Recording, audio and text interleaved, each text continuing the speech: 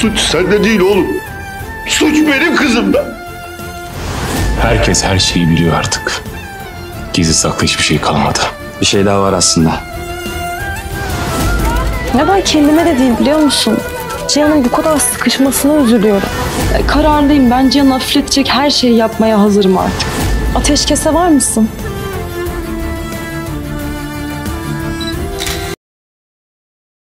Beisa, vou ficar nesta mansão porque você quis. O que você quer dizer com Kuma? Cian, não seja ridículo, Beisa. Mukader, a fonte desta notícia é definitivamente alguém desta casa. Cian, chega mãe, não vá mais longe. Nurre, não é culpa sua, meu filho. A culpada é minha filha. Anser, não se preocupe mais, por favor, Cian. Estou pronto para fazer qualquer coisa para aliviar o fardo de Cian agora. Beisa, vamos fazer um cessar-fogo. Olá pessoal. Em vez de dizer que é inocente, Anser disse que esperaria o dia em que Cian veria a verdade. Mukader e Beisa ficaram chocados ao ver Cian e Anser andando de mãos dadas. Anser disse que Cian se preparará para o nascimento de seu filho. Anser frustrou a armadilha preparada por Beisa. Muito bem, Anser. Não se esqueça de colocar emojis de coração nos comentários para Anser que está agindo de forma forte e inteligente. Nu retomou medidas para evitar que Cian e Anser ficassem juntos. Nu republicou na internet a notícia de que Cian morava na mesma casa com suas duas esposas.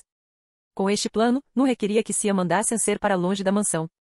Mukader dirá que Anser deu essa notícia. Nu explorará as emoções de Cian e dirá que Beis é o único culpado. Infelizmente, Beis armará uma armadilha para Anser mais uma vez.